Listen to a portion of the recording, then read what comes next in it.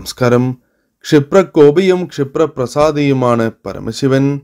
ഒരൽപ്പം ജലം ഭഗവാന് സമർപ്പിച്ചാൽ പോലും ഭഗവാൻ പെട്ടെന്ന് പ്രസീതനാകുന്നതാണ്.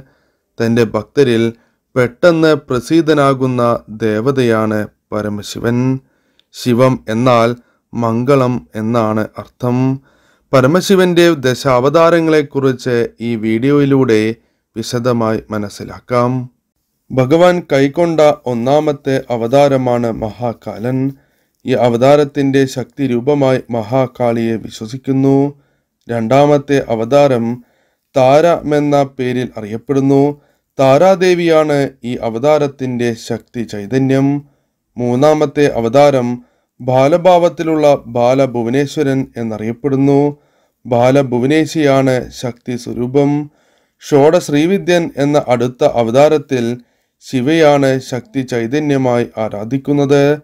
അഞ്ചാമത്തെ അവതാരം ഭൈരവൻ എന്ന പേരിൽ പ്രസിദ്ധമാണ്. ഈ അവതാരത്തിൽ ശക്തി ചൈതന്യം ഭൈരവിയായി അറിയപ്പെടുന്നു.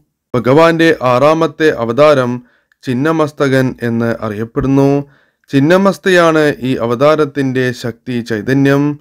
ഏഴാമത്തെ അവതാരം ധുമുഖൻ എന്ന് അറിയപ്പെടുന്നു. ശിവശക്തി ചൈതന്യം ധുമാവതി എന്നും അറിയപ്പെടുന്നു.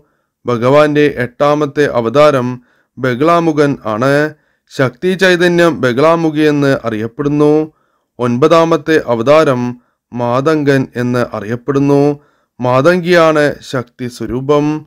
പത്താമത്തെ അവതാരം കമൽ എന്നും ശക്തി സ്വരൂപം കമലയെന്നും അറിയപ്പെടുന്നു. യഥാർത്ഥത്തിൽ പരമശിവന്റെ രൂപസങ്കല്പം പ്രപഞ്ചം എന്ന സങ്കല്പത്തിൽ നിന്നും ഉണ്ടായതാണ്. പ്രപഞ്ചത്തിന്റെ പ്രതീകമാണ് പരമശിവൻ. പുരാതനമായ ഋഷിവര്യന്മാർ പ്രപഞ്ചത്തെ നോക്കി കണ്ടത് ശിവനായിട്ടാണ്. ദിഗംബരനാണ് പരമശിവൻ. ദിക്കാകുന്ന വസ്ത്രമുള്ളവൻ. അത് നാം കാണുന്ന പ്രകൃതിയുടെ അതിരാണ്.